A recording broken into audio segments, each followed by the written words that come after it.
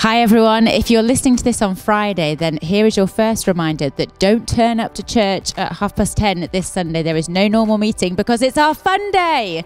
So please arrive at 11 o'clock. Bring with you your lunch and um, some cakes or biscuits for us to give away, please, to our community. And so then you'll be here from 11 until the event finishes at half three and then put away after that. So please come ready and raring for that. Be praying for sunshine and a really good time for our guests.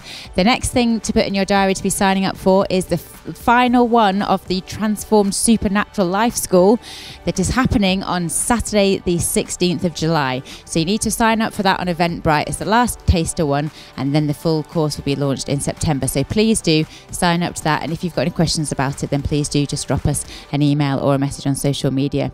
And the final message for this week is it's chilli after church next Sunday, Sunday the 17th, £3 a portion or four portions for £10. And that's going to be raising money for New Day. So please do come hungry on that day. Have a brilliant week. Bye bye.